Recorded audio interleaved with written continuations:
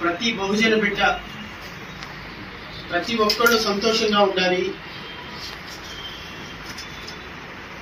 ప్రతి ఒక్కళ్ళకి ఉపాధి కావాలి.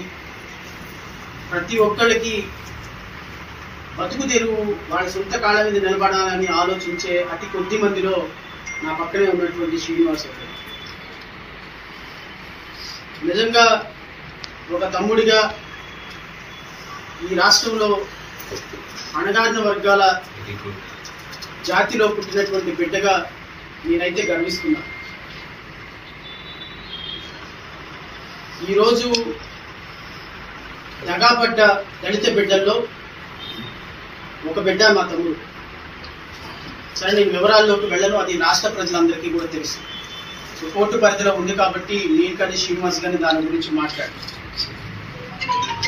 కానీ నేను మీ ద్వారా రాష్ట్ర ప్రజలందరికీ తెలియపరిచేది ఏంటి అంటే రాజకీయాలు అనేవి చాలా ఫ్రీగా ఫెయిర్గా ట్రాన్స్పరెంట్గా ప్రజల వద్దకు వెళ్ళి ఆ రాజకీయాలను చేయాల్సిన పరిస్థితుల్లో కుట్రలతోటి కుతంత్రాలతోటి రాజకీయాలు చేసే రాజకీయాలు దళిత బిడ్డ ప్రతి బహుజన బిడ్డ ప్రతి ఒక్కళ్ళు సంతోషంగా ఉండాలి.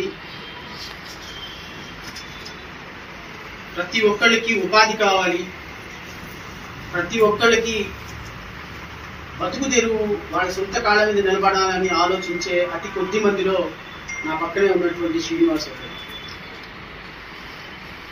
నిజంగా ఒక తమ్ముడిగా ఈ రాష్ట్రంలో అణగారిన వర్గాల జాతిలో పుట్టినటువంటి బిడ్డగా నేనైతే గర్విస్తున్నా.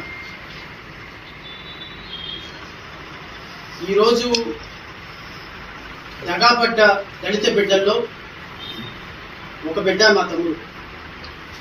సరే నేను వివరాల్లోకి వెళ్ళను. అది రాష్ట్ర ప్రజలందరికీ కూడా తెలుసు. సో కోర్టు పరిధిలో ఉంది కాబట్టి నేను కానీ శ్రీనివాస్ కానీ దాని గురించి మాట్లాడు కానీ నేను మీ ద్వారా రాష్ట్ర ప్రజలందరికీ తెలియపరిచేది ఏంటి అంటే రాజకీయాలు అనేవి చాలా ఫ్రీగా ఫెయిర్గా ట్రాన్స్పరెంట్గా ప్రజల వద్దకు వెళ్ళి ఆ రాజకీయాల్ని చేయాల్సిన పరిస్థితుల్లో కుట్రలతోటి కుతంత్రాలతోటి రాజకీయాలు చేసే రాజకీయాలు